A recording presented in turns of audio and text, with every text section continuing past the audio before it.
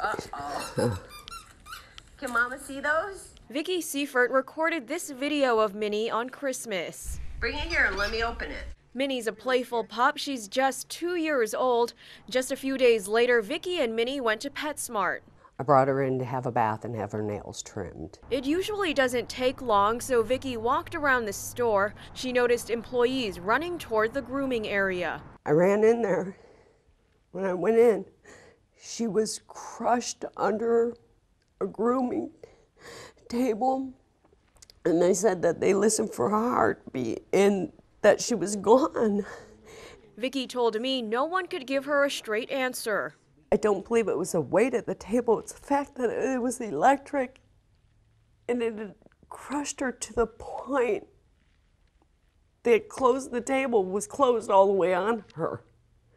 And then with it being unplugged, there was no way to raise it. We reached out to PetSmart. A spokesperson sent us this statement. A tragic accident occurred in our grooming salon, which led to the heartbreaking loss of Minnie. There's nothing more important than the safety of the pets in our care, and we immediately launched a comprehensive investigation into how this type of unprecedented event could have possibly happened. They told me my dog was dead by 6:43. I dropped her off at 6:30.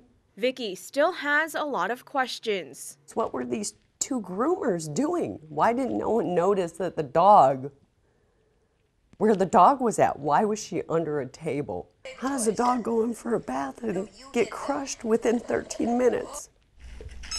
Minnie loved her toys.